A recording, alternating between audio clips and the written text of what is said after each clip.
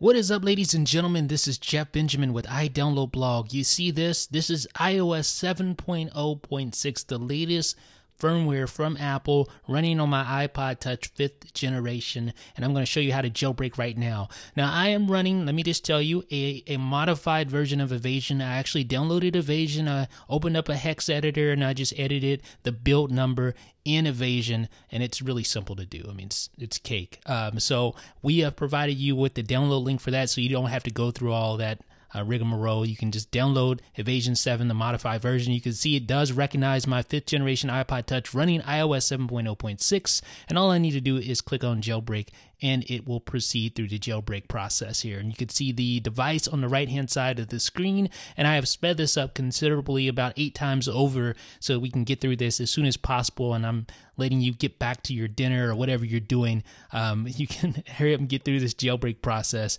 so we won't take up a lot of your time. Now, as I stated, we used a, a hex editor called, uh, I think it's HexFiend for Mac OS 10.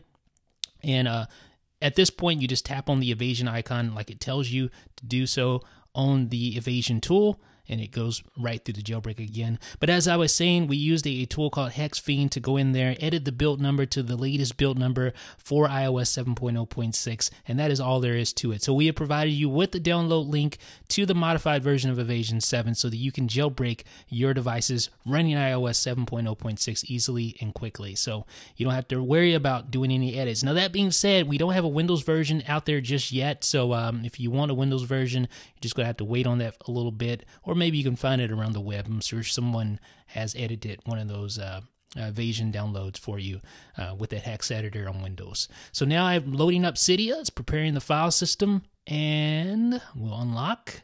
And let's swipe back over here. Let's open up Cydia.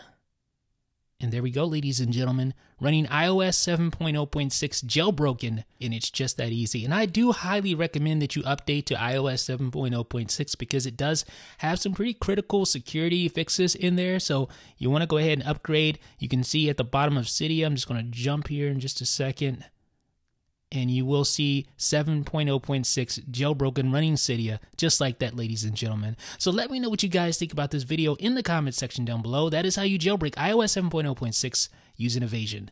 This is Jeff with iDownload Blog.